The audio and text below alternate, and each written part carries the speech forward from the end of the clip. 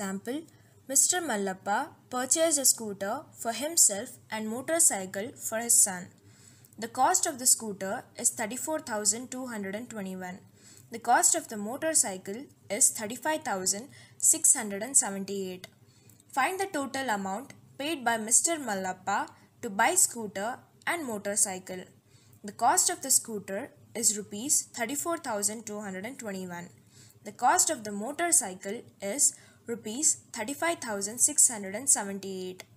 The amount paid by Mr. Mallappa is equal to cost of the scooter plus cost of the motorcycle.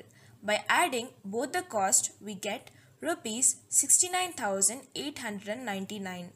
Therefore, total amount paid by Mr. Mallappa is rupees 69,899.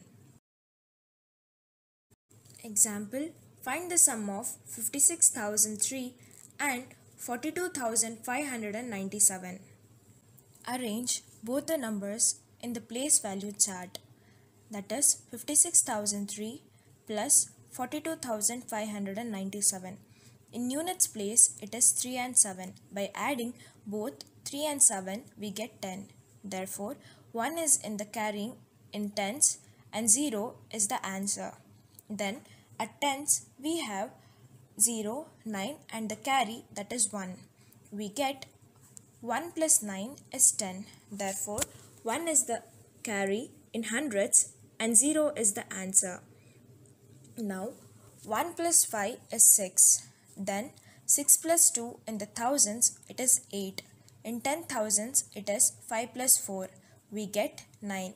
So in total we get 98,600. Therefore, the sum of 56,003 and 42,597 is 98,600.